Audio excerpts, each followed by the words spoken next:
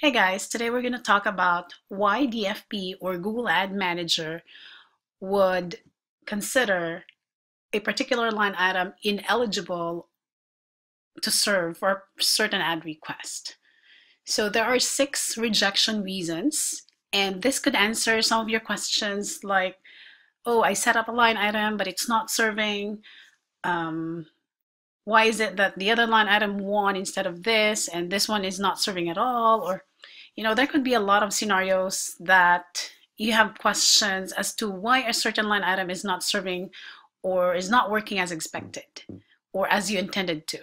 So one first rejection reason frequency capping. So when you say frequency capping it's this setting right here within your line item Okay, so let's say, for example, you set, you set it to three per day. So this means you're only allowing this line item to serve no more than three times per unique user per day.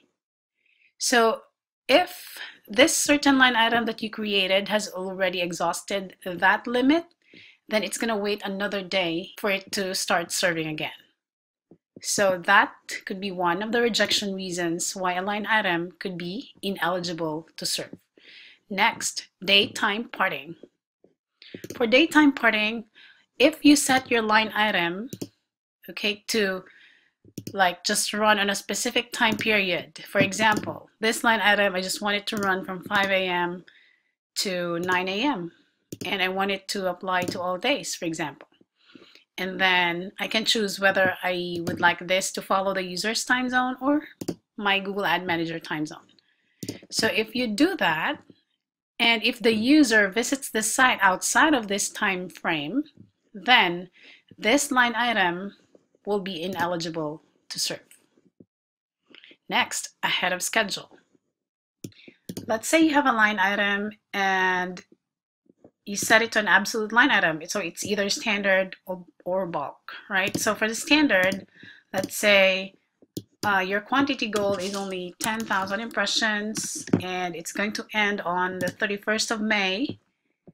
And if it's ahead of schedule, meaning your satisfaction index is good, meaning you're following a good pace so far and you're meeting your goal, and let's say, for example, it's almost May 31st and we have already reached like nine, let's say 9,995.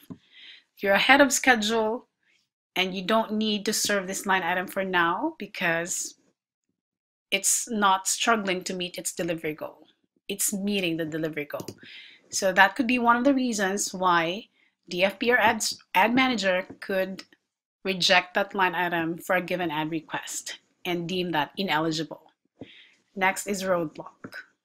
Roadblock, it depends if you have this feature enabled for your Google Ad Manager. It's called Guaranteed Roadblocks. So you can find that under, under Admin, Global Settings, Features. Now, if you have that enabled, this is what happens in the line item. For Display Creative section, you will now have this option that says All right? So let's say, for example, you targeted run of network and you go to a website, meaning you're targeting all the ad units on a particular page. So you're telling DFP or ad manager now that you only serve this line item if this particular line item can serve on all the different ad units on a page. It's all or nothing. Okay? right there. So all creatives associated with this line item will appear together on a page or the line item cannot serve. That's roadblock. Next, line item is out of the right size creative. So with this line item, for example, that I created, so let's say test line item, right? And let's say you targeted a 300 by 250 for this one. And then here comes the user visiting a page and the only ad unit defined on that particular page is 728 by 90. So then this line item is not eligible because it's only targeting 300 by 250 and not 728 by 90. And again, that is a reason why your ad server could reject or consider that line item ineligible for that ad request. And lastly, exclusions. For exclusions, let's say I created a label in Ad Manager. It's under Admin Inventory, and it's called Labels. And I chose Competitive Exclusion, for example, and I named it Airlines.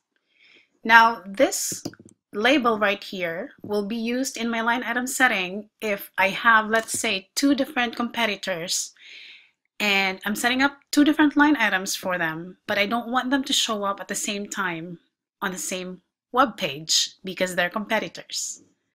So for the label, let's say I'm creating this for Alaska Airlines, right? And then I'm targeting a 300 by 250 unit, for example, and I will add the label here, which is airlines, the one I created earlier. Then do my targeting as applicable. So then I'll create another ad unit. And this time, let's pretend I'm creating this for Virgin America. Okay, and this time I'll still target the same size, for example, and I will still add the label airlines. So you're now telling your ad server or ad manager that, hey, these two different line items, never serve them all together simultaneously on the same page because they have an exclusion. They're competitors. So that could be one of the reasons why a line item can be tagged or considered ineligible to serve for a given ad request. So if you have any questions or if you were if you're wondering why your line item is not serving or is not working, revisit all these six rejection reasons and that will help guide you for troubleshooting. Thanks for joining us today. We hope you enjoyed our presentation. Also, learn to monetize more by watching our tutorial series and reading our latest ad optimization tips. Please subscribe to our blog to receive periodic updates. Thanks, we'll catch you next time.